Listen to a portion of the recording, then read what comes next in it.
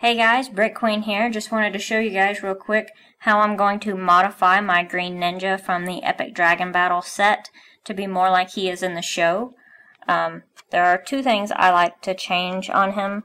Um, first, I'm going to take the armor off because he wasn't ZX in the show. So, I know he still has the silver on here, but uh, it's close enough. I'm going to leave it that way.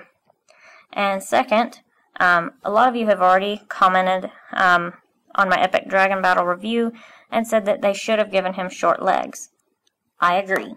Um, so, if you didn't know where to find the uh, short green legs, I'm going to show you. Um, you can find them in the minifig series. This is the clown from series 5. See, he does have the legs that you need.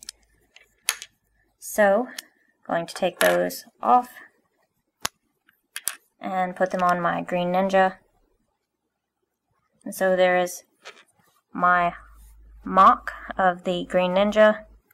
Now I know that the old legs did have more detail, but I still think these are more accurate to the show. So anyway, um, that's how you modify the Green Ninja to look more like in the show.